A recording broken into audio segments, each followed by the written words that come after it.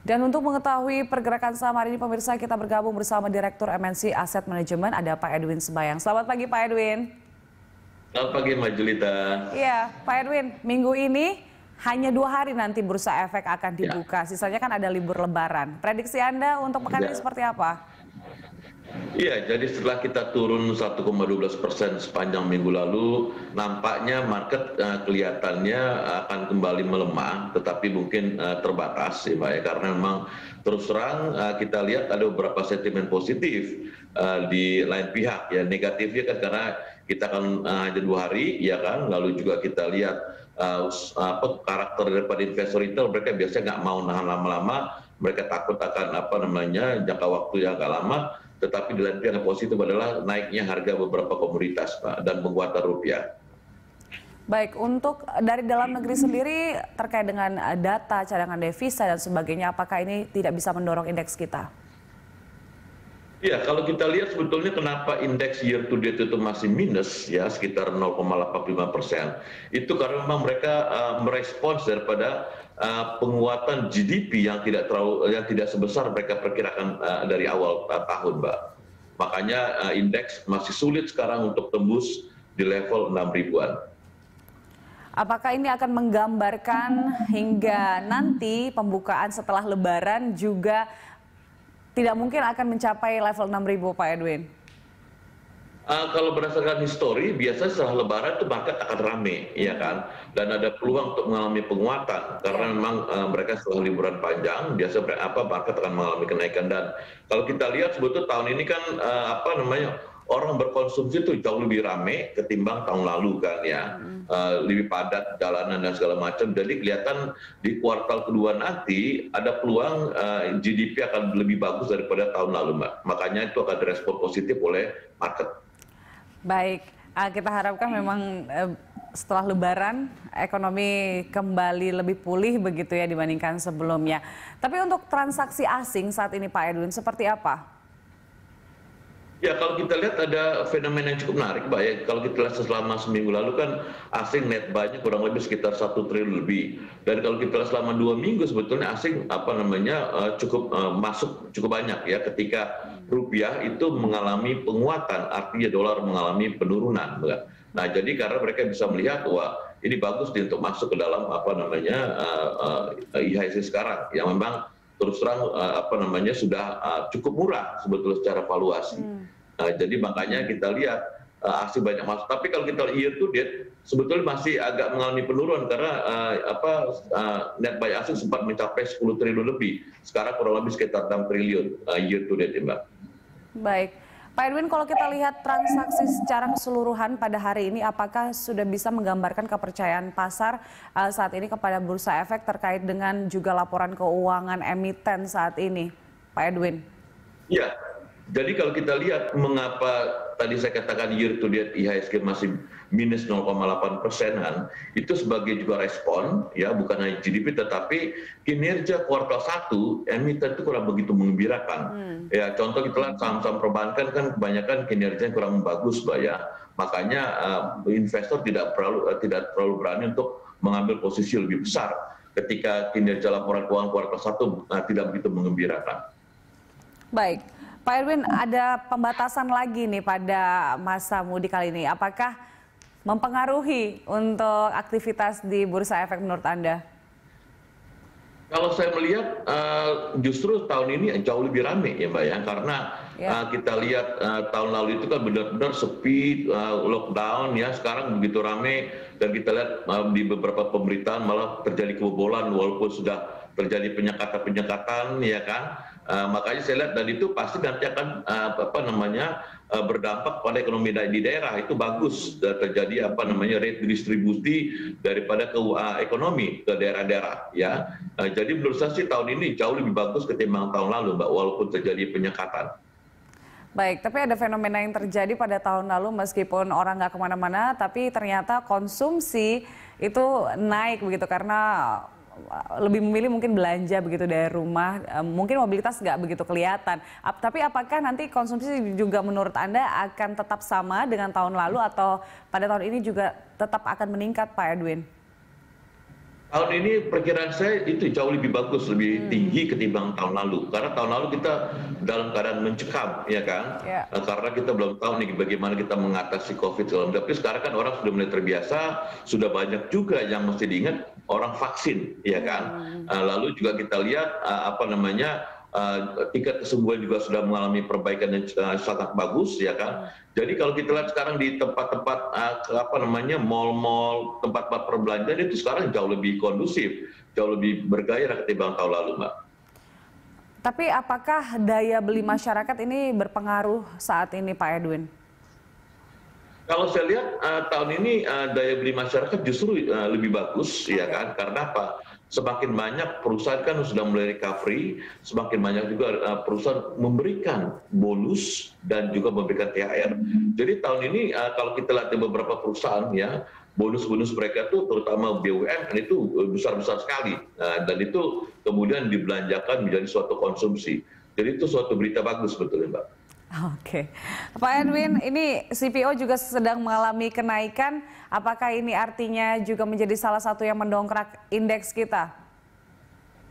Ya, kalau kita ada fenomen menarik nih Mbak terkait dengan saham CPO ya. Harga CPO udah di atas 4 ribuan ya. 4 ribu kurang lebih sekitar 4.400. Tetapi kenapa saham CPO uh, masih lagging? Hmm. Uh, ternyata kalau kita teliti lebih lanjut itu uh, berdasar pengalaman tahun lalu ya tahun ini banyak sekali uh, apa emiten CPO sudah melakukan transaksi forward. Jadi artinya mereka sudah jual untuk uh, ke depannya. Sehingga respon terhadap kenaikan apa saham uh, harga CPO itu tidak terlalu besar karena mereka sudah melakukan transaksi forward. Mungkin nanti tahun depan baru akan tercapai. Uh, jadi itu yang membuat ya, apa agak sedikit uh, apa berbalikan nih harga CPO naik tajam tetapi yeah. harga saham CPO-nya itu masih agak lagging atau ketinggalan. Oke, cukup menarik ya untuk CPO. Kita akan lihat nanti saham-saham apa saja yang masih bisa dikoleksi oleh para investor pada hari ini. Pak Edwin, tetaplah bersama kami dan pemirsa kami masih akan kembali usai jeda tetaplah di IDX Opening Bell. Pemirsa Anda kembali di IDX Opening Bell masih bersama Direktur MNC Asset Management Pak Edwin Sembayang. Pak Edwin, kira-kira untuk hari ini jelang Lebaran, apa sih uh, sektor yang masih menarik untuk para investor?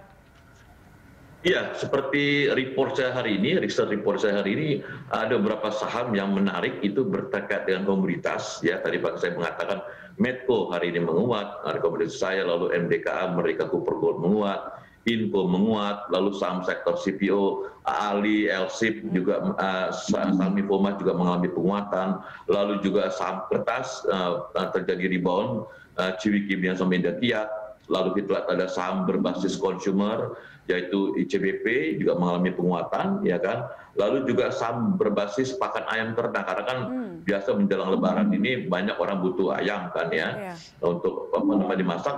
Jadi kita lihat calon pokpan pun mengalami penguatan. Nah, itu beberapa saham yang kita lihat hari ini uh, apa sangat diuntungkan dengan uh, apa menjelang lebaran tersebut Oke, pekan lalu ini cukup menarik ya. Antam paling diburu. Bagaimana dengan pekan ini, Pak Edwin? Uh, masih naik ya hari ini pagi ini juga masih mengalami kenaikan kurang lebih sekitar satu persen karena adanya penguatan daripada harga emas ya karena uh, ketika apa data ekonomi Amerika kurang bagus data pekerjaan kurang bagus ya sehingga peluang terjadi kenaikan suku bunga semakin rendah makanya saham-saham berbasis apa uh, gold itu mengalami kenaikan karena harga emas juga mengalami kenaikan pak. Oke masih menarik ya untuk Antam ada Saratoga Investama yang akan stock split bagaimana pergerakan sahamnya untuk hari ini Pak Edwin? Ya, kalau uh, implisit secara umum ya, kalau suatu uh, saham ingin melakukan stock split itu berita bagus karena yeah. apa? Mereka mengantisipasi kenaikan daripada laba bersih mereka, sehingga ketika nanti harga naik uh, itu tidak terasa bahwa sebetulnya harga naik, ketimbang mereka masih belum melakukan stock split itu berita bagus harusnya menjadi sentimen positif. Nah dari BUMN ada Telkom dari sektor telekomunikasi biasanya Lebaran kan oh, mobilitas untuk di telekomunikasi ini sangat tinggi ya Pak Edwin ya. Ini menarik nggak untuk hari ini? Kalau kita lihat sebetulnya telkom ini agak sedikit kurang apa namanya begini kan sekarang orang udah beli kuota mbak ya dan yeah. sekarang sudah banyak fasilitas tel apa komunikasi yang gratis hmm. seperti pakai uh, WA chat ya WA grup dan segala macam yeah. uh, sehingga uh, kita lihat pertumbuhan daripada telkom sebagai main driver daripada telkom itu hanya single digit mbak Uh, makanya kita lihat ya sebetulnya uh, walaupun terjadi hari raya gini, sebetulnya dari awal tahun kita sudah memperkirakan bahwa terjadi kenaikan tapi tidak sebesar tahun-tahun sebelumnya, Mbak. Tapi kabarnya uh, Telkom sendiri akan membagikan dividen yang jumbo dalam uh, tanda kutip cukup besar begitu. Bagaimana Pak Edwin? Apakah berpengaruh? Uh, kita tunggu. Uh, yang penting adalah jumbo berapa dividen payout ratio-nya, ya kan. Lalu kedua adalah berapa dividen per share-nya hmm. nanti untuk Telkom tersebut, Pak. Oh, berarti kita harus melihat berapa jumlah dividennya sendiri ya, ya begitu ya. Nah untuk ya, uh, sektor ya. lain mungkin uh, dari konsumsi ada ada Unilever. Nah ini sejak 2018 kan sebenarnya cenderung koreksi. Apakah tahun ini menunjukkan uh, semacam titik terang bahwa akan kembali naik, Pak Edwin? Uh, ya minggu lalu mereka sempat korup uh, apa namanya terjadi penurunan ya tetapi uh, hari ini mereka mengalami kenaikan ya karena memang adanya uh, apa namanya penyesuaian bobot mbak uh, sekarang bursa melakukan penyesuaian bobot uh, terhadap uh, jumlah saham beredar di apa namanya persentase jumlah saham beredar mereka di market ya setelah mereka mereka melakukan penyesuaian hari ini mereka mengalami kenaikan uh, walaupun kita lihat uh, apa namanya masih belum uh, sebesar ketika terjadi penurunan mbak. Tapi trennya masih bagus nggak ke depannya Pak Edwin? Uh, kalau kita lihat konsumsi masyarakat terhadap sektor uh, fast moving consumer goods itu kelihatan agak flat ya Mbak ya. Jadi kita lihat kinerja Unilever pun uh, di kuartal satu kemarin kan uh, tidak begitu bagus sebetulnya. Baik, Pak Edwin untuk retail, nah hari ini apa saja yang menarik? Kalau retail saya lihat di situ ada MAPI Mitra di Perkasa ya. Kita lihat beberapa toko mereka banyak menu ya kan. Lalu kita lihat juga ada apa namanya ada era ya. Banyak orang ganti-ganti telepon ya. Lalu juga pergi ke, ke hardware. Banyak orang melakukan pembelian-pembelian apa peralatan rumah tangga ya. Jadi menurut saya sih apa namanya saham-saham tersebut yang banyak diburu mbak. Oke, tapi untuk MAPI dan contohnya era ini sebenarnya uh, kenaikan uh, sahamnya begitu dan juga menariknya saat ini apakah juga dipengaruhi oleh laporan keuangannya atau uh, euforia jelang lebaran saja saat ini Pak Edwin? Uh, prospek daripada kenaikan GDP tadi lebih bagus berarti mendorong tingkat apa uh, GDP per kapita mem, uh, semakin membaik sehingga daya beli orang semakin meningkat. Hmm. Makanya itu didukung oleh kinerja fundamental, Mbak. Uh, bukan hanya sekedar euforia aja. Oke baik. Pak Edwin terima kasih untuk rekomendasinya hari ini dan juga berbagai informasi tadi. Pemirsa Direktur MNC Asset Management Pak Edwin Sebaya.